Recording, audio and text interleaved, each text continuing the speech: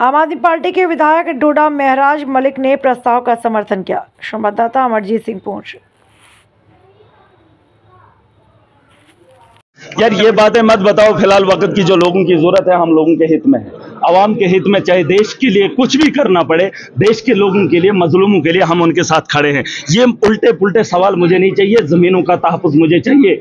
चाहे आप किस नज़रिए से महराज को देख रहे हैं, मुझे वो चीज़ नहीं मालूम। लेकिन मुझे ज़मीन मेरे, ज़मीन पे मेरा हक होना चाहिए, हमारी जॉब पे हमारा हक होना चाहिए। इन्होंने चपरासी तक, फोर्थ क्लास के मुलाजिम तक इन्होंने बिठा दिए हैं हमारे यहाँ जम्मू कश्मीर के अंदर। इन लोगों को शर्म आनी चाहिए, आज यहाँ नारेबाजी कर रहे हैं और ये कल लाएँगे फलाने को यहाँ का चीफ मिनिस्टर बनाएँगे। लोगों की अवकाश क्या ये तो जाहिलों की जमात है।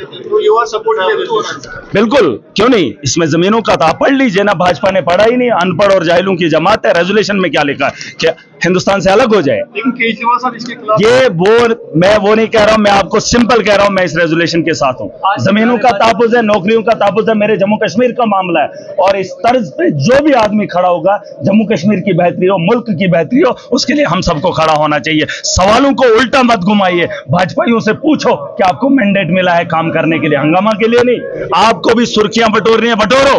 लेकिन अगर जम्मू कश्मीर की बदहाली को खत्म करना है हौस को चलना पड़ेगा। और इन लोगों से सवाल करो इन जाहिलों की जमात को। किसी ने दारू बेचकर यहाँ पर मैंडेट लेकर आया है।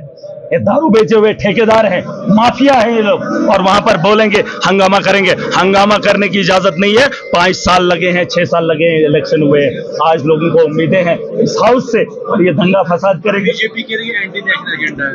नहीं वो खुद एंटी नेशनल उनको खुद नहीं पता हम कौन है। उनको खुद नहीं पता है कि हम कौन है। पूछो गवर्नर से दस साल उसने क्या किया? दस साल की सरकार इनकी रही मोदी की सरकार ये तो झूठे हैं। इन्होंने कहा था इलेक्शन से पहले हम स्टेट का दर्जा देंगे वापस देंगे पहले स्टेट देंगे उसके बाद इलेक्शन करवाएँगे।